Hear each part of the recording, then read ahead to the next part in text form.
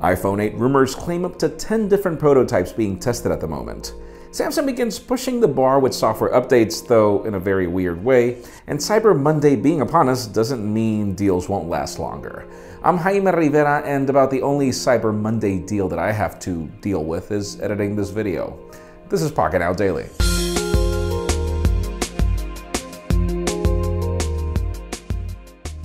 The official news today begin with the Cyber Monday deals that you can still take advantage of as they will continue, particularly with Amazon. Starting with the Moto Z, believe it or not, if you go for the 64 gigabyte variant, you can get it for $200 off, making it even less expensive than the regular variant. In addition to that, you can also find deals on Garmin, Fitbit as well, and uh, the list just goes on. You can learn more in the description. And if you're curious over how Black Friday went, this is rather interesting. We've got some statistics over the amount of purchases made during Black Friday alone. $3.4 billion in the US.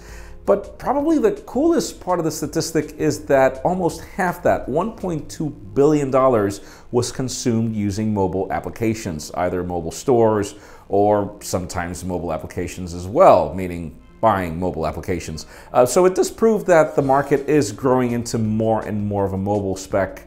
Uh, let's see if it continues or when it will level out. Now, one deal you should probably consider is uh, Google Play Music, as Google is yet again offering four months completely free of a trial. And in addition to that, it's also bundling a subscription to YouTube Red if you want to give that a try. And it just proves just how bad it's going for Google Play Music. If anything, I would be compelled to give it a try for YouTube Red and not for the music. But anyways, you can learn more about what you have to do in the description as well. Now let's move the spotlight over to Samsung and something the company doesn't do right, which is called software updates. We have got some very interesting reports that claim that certain users from the Galaxy Note 5 are already getting the Grace UX. And that UX is probably my favorite from the launch of the Galaxy Note 7 that is no more. We've been waiting for that to reach the Galaxy S7 Edge and Galaxy S7, but no, the Note 5 gets it first, and then every other device can probably try Nougat on these S7 devices if you go for the beta.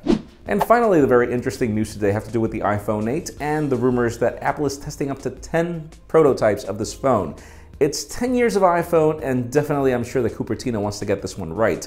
But Apple has always been famous for prototyping, for testing different devices. The company pretty much can build whatever it wants in Cupertino campus. It's got everything it needs for that, and that's really cool. Uh, we hear that one of these variants brings a curved OLED display, which is great, but it leads me to the question of the day. If you were to sit down right now and define what things you would want to see from the next generation iPhone for you to want to buy them, what would these be? In my case, I won't lie, I'm actually going back to the Galaxy S7 Edge right now for a little video that we're working on, and uh, yeah, curved displays I love them. Leave us a comment down below. We'd love to know your opinion. Friends, you know the way it goes. If you want to get the news earlier before the video was filmed, follow us on PocketNow.com and hit that subscribe button down below for more videos like this one. You can also follow me on Twitter, Jaime underscore Rivera, or on Instagram at Jaime Rivera. Please give this video a thumbs up if you like what you saw. I am Jaime Rivera. Thank you very much for watching. We'll see you tomorrow.